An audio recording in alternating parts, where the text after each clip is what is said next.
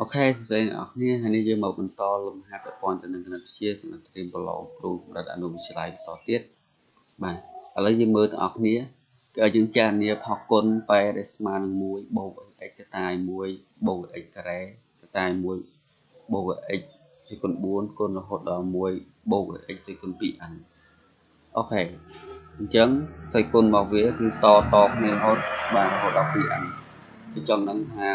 ផគុណនឹងស្មើនឹងប្រមាណបាទឥឡូវយើងមើលដំណោះស្រាយនៃលំហាត់នេះដល់គ្នាបាទដំណោះស្រាយយើងអាចសរសេរមកថាកណនីផគុណប៉ែអញ្ចឹងដោយគីមានបាទ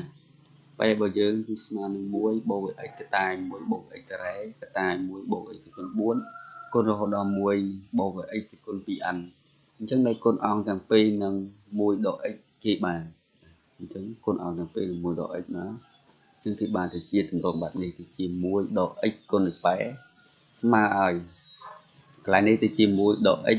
គុណឲ្យ1បូក x គឺតែ1បូក x ការ៉េគឺតែ1បូក x គុណ4គុណរហូតដល់1បូក x គុណ 2n អញ្ចឹងយើងសង្កេតឃើញថានេះចំពោះអង្គទី2គឺមាន1ដក x គុណឲ្យ1បូក x គឺចូលលក្ខណៈនៃរូបមន្តបាទអឺ a ដក b គឺតែ a បូក b ស្មើនឹង a ការ៉េដក b ការ៉េអញ្ចឹង គេអាចសរសេរចូលទៅក្នុងរូបមន្តនឹងបានជាបន្តបន្ទាប់មកបាទអ្នកនរគ្នាអាចសរសេរមកដោយសារតែខ្ញុំសរសេរមករៀងកាន់តិចអ្នកនរគ្នាណាអញ្ចឹងអ្នកនរគ្នាសរសេររៀងឲ្យបានប៉ុណ្ណឹងតិចមកចុងក្រោយគឺស្មើនឹងប៉ុណ្ណឹងបាទស្មើនឹង1ដកអី x ទៅគុណ 4n បាទអញ្ចឹងយើងទីរកតម្លៃនៃប៉ែមកណយប៉ែគឺស្មើនឹង1ដកអី x ទៅគុណ 4n នៅលើ1ដក x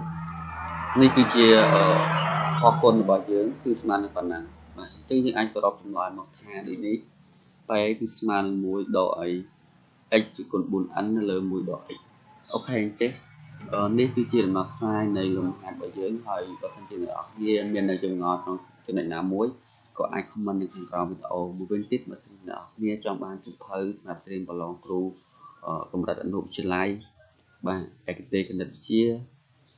សមាគមមានលក់ ជាសិភៅសម្រាប់ត្រៀមប្រឡងមកដែរបាទអ្នកនរគ្នាអាចទំនាក់ទំនងមកតាមរយៈលេខ Telegram របស់ខ្ញុំបានតែពីសារនេះអូខេជាចុងក្រោយខ្ញុំបាទសូមជូនពរអ្នកនរគ្នាទទួលបាននូវជោគជ័យក្នុងការប្រឡងនៅពេលខាងមុខបាទសូមអរគុណនិងសូមជម្រាបលា